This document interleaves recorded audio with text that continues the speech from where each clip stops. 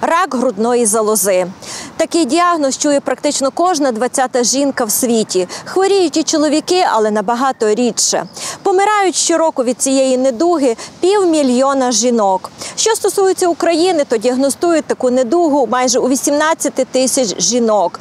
Смертність від неї майже третина. Тому варто говорити про вчасну діагностику, адже наші жінки звертаються на третій, четвертій стадії, коли лікування вже менш ефективне. Генетична схильність, захворювання статевої системи, часті аборта, відсутність вагітності і лактації, цукровий діабет, ожиріння, а також ковід основні фактори ризику раку молочної залози, який значно помолодшав. Хоч найчастіше діагностують хворобу у жінок після 40 років, але все більше випадків виявляють у молоді. На часі привернути увагу до регулярних оглядів.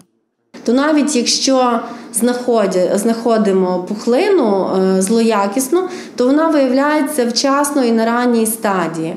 Е, І вона, звісно, легше тоді піддається лікуванню. І можна легше, скажімо, менш е, інвалідизуючу операцію провести. Так? Тобто не мастектомію, допустимо, а квадрантектомію.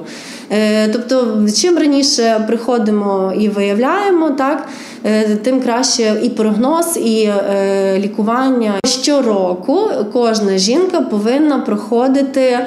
Е, Огляд е, або гінеколог оглядає молочні залози, або сімейний лікар. Якщо є якісь негаразди, скеровують до вузького спеціаліста, тобто онколога, мамолога. Молодшим 35-40 років рекомендують проходити щорічно УЗД молочних залоз. Старші 40 – раз на два роки мамографію. Якщо у жінки виявили доброякісні утвори чи інші патології, контроль частіше за призначенням лікаря. Варто також регулярно самообстежуватися. Якщо помітили ущільнення, почервоніння, зміну розміру, форми або зовнішнього вигляду грудей чи інші зміни, негайно звертатися до сімейного лікаря, який направить на обстеження гарантовані первинною меддопомогою.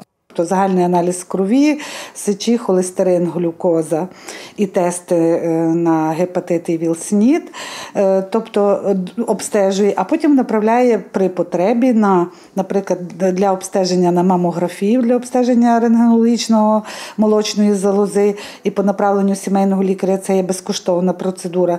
На консультацію, наприклад, як при потребі онколога-мамолога, і направляє на всі біохімічні обстеження на вторинний рівень лабораторії безкоштовно, які гарантує е, пакет е, гарантованих медичних послуг. Специфічні обстеження, які не гарантує держава, пацієнти проходять за свій кошт. Варто додати, маючи направлення від сімейного лікаря, можна обстежуватися безкоштовно за бажанням у будь-якому медзакладі. О ранней диагностике говорится на протяжении многих лет, но, к сожалению, а, говорится как-то мимо или неправильно, или я не знаю что. Ну, Есть люди, которые приходят э, рано, э, и чаще выявляемость первой стадии сейчас стала чаще уже. Но, к сожалению, в четвертой стадии тоже приходят люди, Проблема в том, что рак на первых стадиях не болит. И маленькая какая-то, как они это называются, гулька в молочной железе их абсолютно не беспокоит. Но дело в том, что рак растет. И уже тогда, когда они уже начинают проявляться, когда уже течет рано и так далее, вот эта четвертая стадия, они начинают обращаться. Это, к сожалению, э, статистика выживаемости около 20%. Поэтому о ранней с- статистике это написано куча статей, что первую стадию, либо нулевую стадию лечить гораздо легче. Варто додати, Закарпаття один з регіонів, де статистика недугу чи не найкраща в Україні завдяки екології. Щорічно в області фіксують 300-350 нових випадків. Так, у краї отримати якісні медичні послуги можна у протипухлинному центрі в Ужгороді. Ми є одні з лідерів в Україні по органозбережним операціям на грудній залозі і фактично виконуємо весь спектр оперативних втручань. Крім того, є променева терапія, і хіміотерапія, і підписаний договір з НСЗУ, так що все це можна робити безкоштовно. Зараз ми є одним із е, об'єктів великого будівництва і сподіваюся, протягом найближчих місяців вже буде встановлено лінійний прискорювач і буде сучасна, більш сучасна променева терапія. Так, у практиці закарпатських лікарів найменша видалена пухлина 2 мм.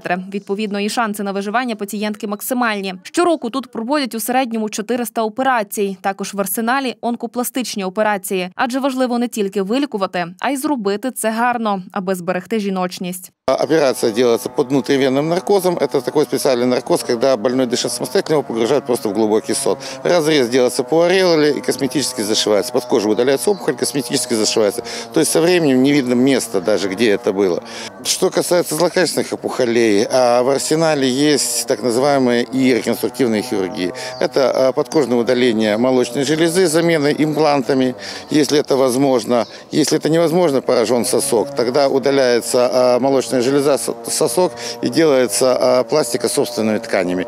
Варто додати, онкохворі та їх рідні потребують і психологічної підтримки. Адже як прийняти діагноз себе з ним, як настроїтись на лікування, як справлятися з усім. Першу психологічну підтримку, як правило, надає лікар. Проте більшість жінок потребує у подальшому консультацію у фахівця.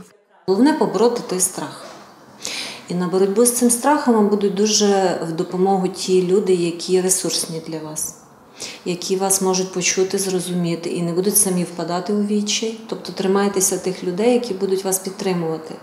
Дуже важливо зрозуміти, що ж буде з вами відбуватися. Допитуйтеся лікарів, бо часто буває таке, що коли дізнаються цей діагноз, впадають в шок, впадають у відчай і починають бігати по лікарям замість того, щоб починати вже щось робити. Починати з цим щось діяти. Багато є випадків, коли треба діяти швидко, не уникати цієї проблеми, не робити вигляд, що її нема, а саме починати потихеньку діяти. Паралельно щось робити і паралельно е, психологічно себе настроювати на цей період. Якщо ви не можете справитись самотужки, звертайтесь до спеціалістів. Врешті треба зрозуміти, рак здебільшого виліковний, тому варто вірити у те, що можна жити, налаштуватися, що можна все витримати, справитися і бути щасливою.